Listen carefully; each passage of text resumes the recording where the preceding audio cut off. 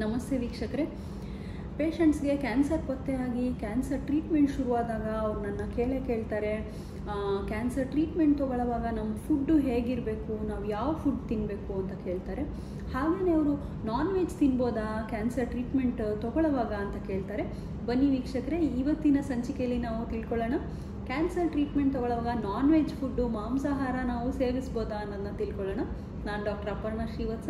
ನಮ್ಮ ಕ್ಯಾನ್ಸರ್ಗೆ answer Kannada YouTube ಚಾನಲ್ಗೆ ನಿಮ್ಮೆಲ್ಲರಿಗೂ ಸುಸ್ವಾಗತ. ನೀವಿನ್ನೂ ನಮ್ಮ ಚಾನಲ್ಗೆ ಸಬ್ಸ್ಕ್ರೈಬ್ ಮಾಡಿಲ್ಲ ಅಂದರೆ ಇವಾಗಲೇ ಸಬ್ಸ್ಕ್ರೈಬ್ ಬಟನ್ನ ಪ್ರೆಸ್ ಮಾಡಿ. ಮತ್ತು ಇಂಥ ವೈಜ್ಞಾನಿಕ ಮಾಹಿತಿಗಳನ್ನ ನಿಮ್ಮ ಫ್ಯಾಮಿಲಿ ಮತ್ತು ಫ್ರೆಂಡ್ಸ್ ಜೊತೆಗೆ ಶೇರ್ ಮಾಡೋದನ್ನ ಖಂಡಿತ ಮರಿಬೇಡಿ.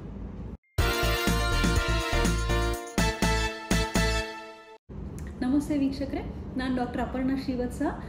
ಶಿವಮೊಗ್ಗದ ಸಹ್ಯಾದ್ರಿ ನಾರಾಯಣ ಮಲ್ಟಿ ಸ್ಪೆಷಾಲಿಟಿ ಹಾಸ್ಪಿಟ್ಲಲ್ಲಿ ಆಂಕಾಲಜಿಸ್ಟ್ ಆಗಿ ಕೆಲಸ ಮಾಡ್ತಾ ಇದ್ದೀನಿ. ಕ್ಯಾನ್ಸರ್ ಪತ್ತೆ ಆದಾಗ ರೋಗಿಗಳು ಮತ್ತು ಅವರ ಕುಟುಂಬದವ್ರಿಗೆ ಒಂದು ಆಕಾಶನೇ ತಲೆ ಮೇಲೆ ಬಿದ್ದಂಗೆ ಆಗುತ್ತೆ. ಪ್ರತಿಯೊಂದು ಫೇಸಲ್ಲೂ ಅವ್ರಿಗೆ ಅನೇಕ ಸಮಸ್ಯೆಗಳು ಎದುರಾಗುತ್ತೆ. ಮತ್ತು ಕ್ಯಾನ್ಸರ್ ಪತ್ತೆ ಆದಾಗ ಯಾವ ಥರ ಆಹಾರ ಸೇವಿಸಬೇಕು ಅನ್ನೋದು ಒಂದು ದೊಡ್ಡ ಪ್ರಶ್ನೆ ಆಗೋಗ್ಬಿಡುತ್ತೆ. ನೀವು ಇಂಟರ್ನೆಟ್ಟಲ್ಲಿ ಸರ್ಚ್ ಮಾಡಿದ್ರೆ ಒಬ್ಬರು ಇದನ್ನು ತಿನ್ನಿ ಅಂತಾರೆ ಇನ್ನೊಬ್ಬರು ಇನ್ನೊಂದನ್ನು ತಿನ್ನಿ ಅಂತಾರೆ. ತುಂಬ ಕನ್ಫ್ಯೂಷನ್ನು ಈ ವಿಷಯದ ಬಗ್ಗೆ ಇದೆ.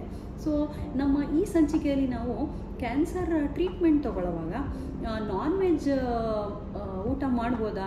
ಮಾಂಸಾಹಾರ ಸೇವನೆ ಓಕೆನಾ? ಕ್ಯಾನ್ಸರ್ ಟ್ರೀಟ್ಮೆಂಟ್ ನಡೆಯುವಾಗ ನಮ್ಮ ತಿಳ್ಕೊಳ್ಳೋಣ. ನೀವು ಯಾರಾದರೂ ಆಂಕಾಲಜಿಸ್ಟ್ ಹತ್ರ ಹೋಗ್ಬಿಟ್ಟು ನಾವು ನಾನ್ ವೆಜ್ ತಿನ್ಬೋದಾ ಅಂತ ಕೇಳಿದ್ರೆ ಆಂಕಾಲಜಿಸ್ಟೇ ಬೇರೆ ಬೇರೆ ಥರ ಉತ್ತರ ಕೊಡ್ತಾರೆ. ಕೆಲವರು ನೀವು ಟ್ರೀಟ್ಮೆಂಟ್ ಮುಗಿಯೋ ತನಕ ನಾನ್ ವೆಜ್ನ ಮುಟ್ಲೇಬಾರ್ದು ಅಂತ ಹೇಳ್ತಾರೆ. ಇನ್ನು ಕೆಲವರು ನನ್ನಂಥವ್ರು ಯಾವಾಗಾದ್ರು ಅಪರೂಪಕ್ಕೆ ಹಬ್ಬ, ಮಾರಿಕಂಬ ಜಾತ್ರೆ ಏನಾರು ಇದ್ದಾಗ ಮಟನ್ ತಿನ್ಬೋದಾ ಅಂತಂದರೆ, ಓಕೆ ಅಕೇಶ್ನಲ್ಲಿ ತಿನ್ಬೋದು ಅಂತ ನನ್ನಂಥವ್ರು ಹೇಳ್ತಾರೆ. ಬಟ್ ಕೆಲವರು ನೀವು ಸುತ್ತರ ಮುಟ್ಲೇಬಾರ್ದು ಅಂತ ಹೇಳ್ತಾರೆ. ಸೊ ತುಂಬ ಕಾಂಟ್ರವರ್ಷಿಯಲ್ ಟಾಪಿಕ್ ಇದು. ಸೊ ಬನ್ನಿ ನಾವು ಅರ್ಥ ಮಾಡ್ಕೊಳ್ಳೋಣ. ಈ ನಾನ್ ವೆಜ್ ಆಹಾರ ನಾವು ಕ್ಯಾನ್ಸರ್ ಟ್ರೀಟ್ಮೆಂಟ್ ತೊಗೊಳ್ಳೋವಾಗ ನಾವು ಯೂಸ್ ಮಾಡಿದ್ರೆ ಏನು ಪ್ರಾಬ್ಲಮ್ಸ್ ಆಗುತ್ತೆ? ಏನು ನಾವು ವಿಷಯಗಳನ್ನು ಮನಸ್ಸಲ್ಲಿ ಇಟ್ಕೊಂಡು ನಾನ್ ವೆಜ್ ಫುಡ್ಡು ಪ್ರಿಪೇರ್ ಮಾಡಬೇಕು ಅನ್ನೋದನ್ನ ತಿಳ್ಕೊಳ್ಳೋಣ. ಕ್ಯಾನ್ಸರ್ ಕಾಯಿಲೆಯಿಂದ ಮತ್ತು ಕ್ಯಾನ್ಸರ್ಗೆ ಕೊಡುವಂಥ ಚಿಕಿತ್ಸೆಗಳು ಕೀಮೊಥೆರಪಿ ಇರ್ಬೋದು ಇಮ್ಯುನೋಥೆರಪಿ ಆಗ್ಬೋದು ರೇಡಿಯೋಥೆರಪಿ ಸರ್ಜರಿ ಇದೆಲ್ಲ ಟ್ರೀಟ್ಮೆಂಟು ನಡೆಯೋ ಟೈಮಲ್ಲಿ ಏನಾಗುತ್ತೆ? ರೋಗಿಯ ದೇಹದ ಇಮ್ಯುನಿಟಿ ಅಂದರೆ ರೋಗ ನಿರೋಧಕ ಶಕ್ತಿ ಸ್ವಲ್ಪ ಕಮ್ಮಿ ಆಗಿರುತ್ತೆ. ಸೊ ಮತ್ತು ಕ್ಯಾನ್ಸರ್ ಟ್ರೀಟ್ಮೆಂಟಿಂದ ಕ್ಯಾನ್ಸರ್ ಸೆಲ್ಸ್ ಎಲ್ಲ ಬಾಡಿಲಿ ಸಾಯ್ತಾ ಇರುತ್ತೆ. ಆವಾಗ ತುಂಬ ರಿಪೇರಿ ಕಾರ್ಯಗಳು ನಡೀತಾ ಇರುತ್ತೆ. ಸೊ ಈ ರಿಪೇರಿಗೆ ನಮಗೆ ತುಂಬ ಒಳ್ಳೆ ಡಯಟ್ ಬೇಕಾಗುತ್ತೆ.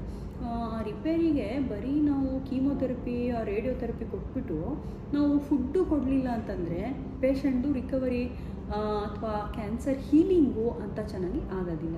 ಸೊ ರೋಗಿಯ ಆಹಾರ ಹೇಗಿರಬೇಕು? ಈ ಕ್ಯಾನ್ಸರ್ ಹೀಲಿಂಗ್ ಪ್ರಮೋಟ್ ಮಾಡೋಕ್ಕೆ ಅಂತಂದರೆ, ಅದು ರೋಗಿಯ ಆಹಾರದಲ್ಲಿ ತುಂಬ ಎನರ್ಜಿ ಇರಬೇಕು. ಅಂದರೆ ಕ್ಯಾಲೋರೀಸು ಜಾಸ್ತಿ ಇರಬೇಕು. ಅದರಲ್ಲಿ ಪ್ರೋಟೀನ್ ಅಂಶ ಜಾಸ್ತಿ ಇರಬೇಕು. ಮತ್ತು ಫ್ಯಾಟು ಸಹ ಬೇಕಾಗತ್ತೆ ಅವ್ರಿಗೆ. ಆಮೇಲೆ ಅಷ್ಟೇ ಅಲ್ಲ, ಅವ್ರಿಗೆ ತುಂಬ ವಿಟಮಿನ್ಸು ಮಿನರಲ್ಸು ಫೈಬರ್ಸು ಇದೆಲ್ಲ ಬೇಕಾಗತ್ತೆ. ಸೊ ನಾವು ನಾನ್ ವೆಜ್ ಫುಡ್ಡಲ್ಲಿ ಈ ಥರದ್ದೆಲ್ಲ ಅಂಶಗಳನ್ನ ನಾವು ಕೊಡೋಕ್ಕಾಗತ್ತಾ ಅಂತ ತಿಳ್ಕೊಳ್ಳೋಣ. ಸೊ ಈ ಫುಡ್ಡಲ್ಲಿ good food and bad food ಅಂತ ಹೇಳ್ತೀವಲ್ಲ ನಾವೀಗ ಹೇಳ್ತೀವಿ ಜಂಕ್ ಫುಡ್ಡು ಈ ಪಿಜ್ಜಾ ಬರ್ಗರು ಪಾಸ್ತಾ ಫ್ರೈಸು ತುಂಬ ಹೆವಿ ಲೋಡೆಡ್ ವಿತ್ ಕ್ಯಾಲರೀಸ್ ಇರುತ್ತಲ್ವ? ಅಂಥದ್ದನ್ನ ನಾವು ಜಂಕ್ ಫುಡ್ ಅಂತ ಹೇಳ್ತೀವಿ.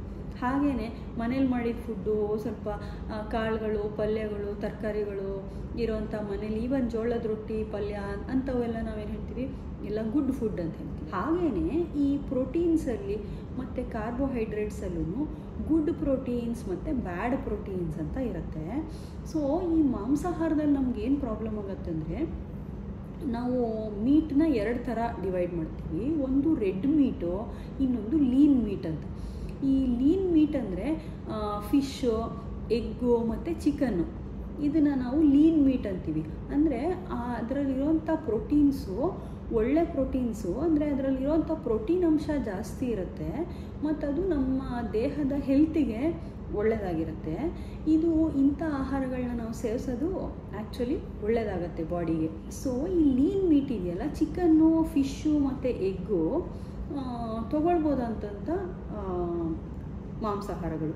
ಈ ರೆಡ್ ಮೀಟ್ ಅಂದರೆ ನಾವು ಮಟನ್ನು ಕುರಿ ಮೇಕೆ ಮಾಂಸ ಹಂದಿ ಮಾಂಸ ಪೋರ್ಕು ಬೀಫು ಗೋಮಾಂಸ, ಇದನ್ನೆಲ್ಲ ನಾವು ರೆಡ್ ಮೀಟ್ ಅಂತ ಕರಿತೀವಲ್ಲ, ಈ ರೆಡ್ ಮೀಟಲ್ಲಿ ಏನಾಗುತ್ತೆ, ಈ ರೆಡ್ ಮೀಟೇನೇ ತುಂಬ ಕಾಂಟ್ರವರ್ಷಿಯಲು ಎಷ್ಟೋ ಸ್ಟಡೀಸಲ್ಲಿ ಈ ರೆಡ್ ಮೀಟ್ನ ಜಾಸ್ತಿ ತಿನ್ನೋಂಥವ್ರಿಗೆ ಕ್ಯಾನ್ಸರ್ಗಳು ಉಂಟಾಗತ್ತೆ ರೆಡ್ ಮೀಟಿಂದನೇ ಕ್ಯಾನ್ಸರ್ ಉಂಟಾಗತ್ತೆ ಅಂತ ಅನೇಕ ಸ್ಟಡೀಸ್ ಇದೆ. ಏನಾಗುತ್ತೆ, ಇಂಥದ್ರಲ್ಲಿ ಪ್ರೋಟೀನ್ ಅಂಶ ತುಂಬ ಜಾಸ್ತಿ ಇರುತ್ತೆ. ಅದಷ್ಟೇ ಅಲ್ಲ, ಅನೇಕ ಹಾರ್ಮೋನ್ಸ್ ಇರುತ್ತೆ ಆ್ಯಂಟಿಬಯೋಟಿಕ್ಸ್ ಯೂಸ್ ಮಾಡಿರ್ತಾರೆ.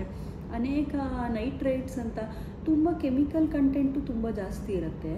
ಇದರಿಂದ ಏನು ಹೇಳ್ತಾರೆ, ಈಗ ಟೊಬ್ಯಾಕೋಯಿಂದ ಕ್ಯಾನ್ಸರ್ ಉಂಟಾಗತ್ತೆ ಅಂತ ಹೇಳ್ತಾರಲ್ಲ, ಹಾಗೆ ಈ ರೆಡ್ ಮೀಟಿಂದನೇ ಕ್ಯಾನ್ಸರ್, ಈ ದೊಡ್ಡ ಕರುಳಿನ ಕ್ಯಾನ್ಸರ್ ಎಲ್ಲ ಉಂಟಾಗತ್ತೆ ಅಂತ ಹೇಳ್ತಾರೆ. ಸೊ, ಈ ಕಾರಣದಿಂದ ಅನೇಕ ಆಂಕಾಲಜಿಸ್ಟು ರೆಡ್ ಮೀಟ್ನ ನೀವು ತಗೊಳ್ಬೇಡಿ ಅಂತ ಹೇಳ್ತಾರೆ. ಯಾವುದೇ ಆಹಾರ ಅದು ಅತಿ ಆದರೆ ಅದು ವಿಷಾನೇ ಆಗೋಗ್ಬಿಡುತ್ತೆ. ಸೊ ಈ ರೆಡ್ ಮೀಟ್ನ ನಾವು ಡೈಲಿ ಬೇಸಿಸ್ ಮೇಲೆ ಯೂಸ್ ಮಾಡೋದು ಒಳ್ಳೆಯದಲ್ಲ ಕ್ಯಾನ್ಸರ್ ಟ್ರೀಟ್ಮೆಂಟ್ ತೊಗೊಳ್ಳೋವಾಗ ಬಟ್ ಈ ಲೀನ್ ಮೀಟ್ ಇದೆಯಲ್ಲ ಲೀನ್ ಮೀಟ್ನ ಯೂಸ್ ಮಾಡಿದ್ರೆ ಒಳ್ಳೆಯದಾಗತ್ತೆ ಬಟ್ ಮೀಟ್ ಅಂದರೆ ಮಾಂಸಾಹಾರ ತೊಗೊಳ್ಳೋವಾಗಲೇ ಒಂದು ಕಾಷನ್ ಏನಂತಂದರೆ, ನಾವು ಕ್ಲೀನ್ಲಿನೆಸ್ಸು ಹೈಜೀನು ತುಂಬ ಚೆನ್ನಾಗಿ ಮೇಂಟೈನ್ ಮಾಡಬೇಕಾಗತ್ತೆ. ಮನೇಲೇ ಮಾಡಿರೋಂಥ ಫುಡ್ ತೊಗೋಬೇಕಾಗತ್ತೆ. ಮತ್ತು ತುಂಬ ಕೇರ್ ತೊಗೊಂಡು ಹೋಮ್ ಕುಕ್ಡ್ ಮನೇಲೇ ಮಾಡಿರೋಂಥದ್ದು ಅಷ್ಟನ್ನೇ ನಾವು ತೊಗೋಬೇಕಾಗತ್ತೆ. ಸೊ ಈಗ ನೀವು ಸಪೋಸ್ ಚಿಕನ್ನು ಅಥವಾ ಎಗ್ಗು ಫಿಶ್ನೇ ತೊಗೋತೀರಾ ಅಂತಂದ್ರೂ ತುಂಬ ಕಾಶಿಯಸ್ ಆಗಿ ನಾವು ಫುಡ್ ಪ್ರಿಪ್ರೇಷನ್ ಮಾಡಬೇಕಾಗತ್ತೆ. ಈ ಕ್ಯಾನ್ಸರ್ ಟ್ರೀಟ್ಮೆಂಟ್ ತೊಗೊಳ್ಳೋವಾಗ ರೋಗಿಗಳಿಗೆ ಅವ್ರ ಬಾಡಿ ಇಮ್ಯುನಿಟಿ ಕಮ್ಮಿ ಆಗೋಗಿರುತ್ತೆ ಅಂತ ಹೇಳಿದ್ನಲ್ವ? ಸೊ ಎನಿ ಇನ್ಫೆಕ್ಷನ್ ಸಣ್ಣ ಸಣ್ಣ ಇನ್ಫೆಕ್ಷನ್ಸೇ ಅವ್ರಿಗೆ ದೊಡ್ಡದಾಗಿ ಹೋಗ್ಬಿಡುತ್ತೆ. ನಾವು ಫುಡ್ ಪ್ರಿಪ್ರೇಷನಲ್ಲಿ ಏನೇ ಕೇರ್ಲೆಸ್ನೆಸ್ ಮಾಡಿದ್ರೂ ಅದು ಪೇಷಂಟ್ಗೆ ತುಂಬ ಲೈಫ್ ಥ್ರೆಟ್ನಿಂಗ್ ಅಂದರೆ ಅವ್ರ ಜೀವಕ್ಕೆ ಅಪಾಯ ಬರೋವಂಥ ಸಿಚುವೇಶನ್ ಬರ್ಬೋದು. ಸೊ ಈ ಮೀಟು ನೀವು ಮನೇಲೇ ಪ್ರಿಪೇರ್ ಮಾಡಬೇಕು ಅಂತಂದರೆ ಅವರು ಕ, ನೀವು ಚೂಸ್ ಮಾಡೋ ಅಂಥದ್ದು. ಸ್ವಲ್ಪ ಕ್ಲೀನಾಗಿದೆಯಾ ಅಂತ ನೋಡಬೇಕು. ಆಹಾರ ಪ್ರಿಪೇರ್ ಮಾಡೋ ಅಂಥವ್ರು ಕೈ ತೊಳ್ಕೊಬೇಕು. ಅಡುಗೆ ಮನೆಯೂ ಕ್ಲೀನಾಗಿರಬೇಕು ಅದನ್ನ ಕಟ್ ಮಾಡ್ತೀವಲ್ಲ, ಈಗ ಮೀಟ್ ಕಟ್ ಮಾಡೋಕ್ಕೆ ಯೂಸ್ ಮಾಡಿರೋಂಥ ಚಾಕುಲಿ ನೀವು ಹಣ್ಣುಗಳನ್ನ ಕಟ್ ಮಾಡಬಾರ್ದು. ಸೊ ಅದರೊಳಗಡೆ ಕ್ರಿಮಿಗಳಿರುತ್ತೆ ಕಣ್ಣಿಗೆ ಕಾಣದೇ ಇರೋಂಥ ಬ್ಯಾಕ್ಟೀರಿಯಾಗಳಿರುತ್ತೆ ನಾವು ಮೀಟ್ ಕಟ್ ಮಾಡಿಬಿಟ್ಟು, ಆಮೇಲೆ ಮೀಟೇನೋ ಬೇಯಿಸ್ತೀವಿ. ಅಲ್ವಾ? ಆದರೆ ಆ ಚಾಕುಲಿ, ಅದೇ ಚಾಕುಲಿ ನಾವು ಹಣ್ಣು ಕಟ್ ಮಾಡಿದ್ರೆ ಏನಾಗುತ್ತೆ? ಹಣ್ಣು, ಹಣ್ಣಿಗೆ, ಹಣ್ಣು ನಾವೇನು ಬೇಯಿಸಲ್ಲ.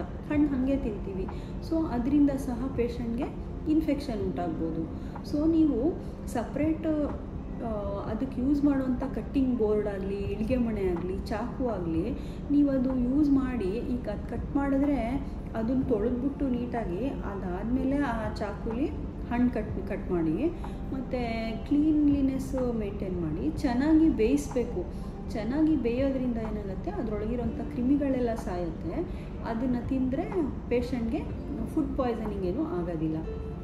ನೀವು ಮತ್ತೆ ಅದನ್ನು ಫ್ರೆಶ್ಲಿ ಪ್ರಿಪೇರ್ಡ್ ಯೂಸ್ ಮಾಡಿ, ಮತ್ತು ಫ್ರಿಜ್ಜಿಂದ ತೆಗೆದ್ರೆ ವಿದಿನ್ ಟೂ ತ್ರೀ ಅವರ್ಸ್ ಅದು ಖಾಲಿ ಮಾಡಿಬಿಡ್ಬೇಕು. ಮತ್ತು ಅದನ್ನು ಫ್ರಿಜ್ಜಿಂದ ಒಳಗೆ, ಹೊರಗೆ ಈಗ ಫ್ರಿಜ್ಜಿಂದ ಆಚೆ ತೆಗೆದಿರ್ತೀವಿ. ಪೇಷಂಟ್ ಅದು ತಿನ್ನಲಿಲ್ಲ ಅವ್ರು ಸೇರಲಿಲ್ಲ, ಮತ್ತೆ ಫ್ರಿಜ್ಜಲ್ಲಿಡೋದು ಮತ್ತೆ ತೆಗೆಯೋದು, ಮತ್ತೆ ಬಿಸಿ ಮಾಡೋದು, ಈ ಥರ ಮಾಡಬಾರ್ದು. ಫ್ರೆಶ್ ಆಗಿ ಪ್ರಿಪೇರ್ ಮಾಡಿಕೊಟ್ರೆ ಆ್ಯಕ್ಚುಲಿ ಒಳ್ಳೆಯದೇನೆ ಮತ್ತು ಫಿಶ್ಶು ಯಾವತ್ತೂ ನಾವು ಚೆನ್ನಾಗಿ ಬೇಯಿಸ್ಬಿಟ್ಟೆ ತಿನ್ನಬೇಕು ಮತ್ತು ಮೊಟ್ಟೆನೂ ಅಷ್ಟೇ ಹಾಫ್ ಬಾಯಿಲ್ಡು ಆ ಥರ ಮಾಡಬಾರ್ದು. ಹಾರ್ಡ್ ಬಾಯಿಲ್ಡು ಚೆನ್ನಾಗಿ ಬೇಯ್, ಬೆಂದಿರಬೇಕು. ಬೆಂದಿರೋ ಅಂಥ ಮೊಟ್ಟೆನೇ ಕೊಡಿ ಪೇಷಂಟ್ಸ್ಗೆ ಮತ್ತು ಒಕೇಶ್ನಲಿ ಯಾವುದೋ ಒಂದು ಹಬ್ಬ ಇರುತ್ತೆ ಈದ್ ಇರುತ್ತೆ, ಅಥವಾ ಮಾರಿಕಂಬ ಜಾತ್ರೆ ಇರುತ್ತೆ, ಆವತ್ತು ಮಟನ್ ಸ್ವಲ್ಪ ತಗೋಬೋದು, ಬಟ್ ಅದನ್ನ ಮನೇಲೇ ನಿಮ್ಗೆ ಗೊತ್ತಿರೋ ಅಂಥವ್ರು ಮನೇಲೇ ಸರಿಯಾಗಿ ಪ್ರಿಪೇರ್ ಮಾಡಿದ್ದಾರೆ ಅಂದರೆ ಅಂಥದ್ದು ಮಾತ್ರ ತಗೊಳ್ಳಿ.